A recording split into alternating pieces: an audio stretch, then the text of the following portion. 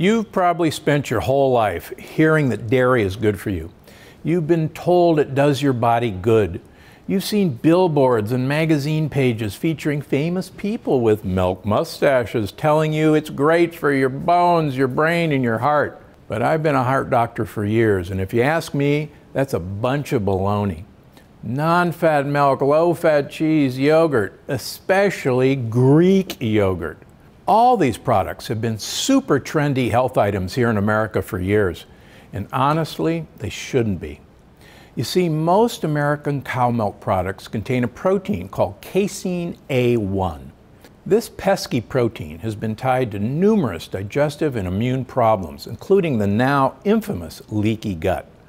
In fact, many people who think they're lactose intolerant are actually reacting to the casein A1, not the lactose.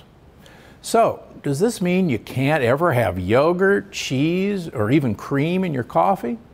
Fortunately, no, it doesn't. You don't have to give up completely on dairy. You just have to pick the right dairy. Dairy that doesn't have casein A1. One of my personal favorites is buffalo milk, which is used to make buffalo mozzarella in Italy. These days, there's a great brand right here in the US called Buf that comes from grass fed buffalo. They make fantastic buffalo milk cheese and yogurts, and they're available in most Whole Foods and many big natural grocery chains. And if that's not your thing, there's always sheep and goat's milk. Sheep's milk yogurt and cheeses are pretty much widely available. Trader Joe's has a wonderful sheep's milk feta cheese called Pastures of Eden. And for goat's milk, it's easy enough to find goat milk cheeses, ice cream, butter, yogurt, even plain goat milk, which is pretty much everywhere.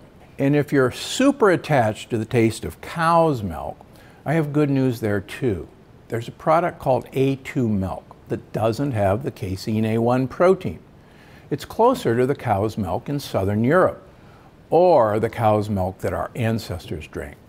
And if you want to avoid animal products entirely, coconut milk is your best option including coconut milk yogurt and even ice cream, which I love. So next time you find yourself craving dairy, you don't have to feel deprived.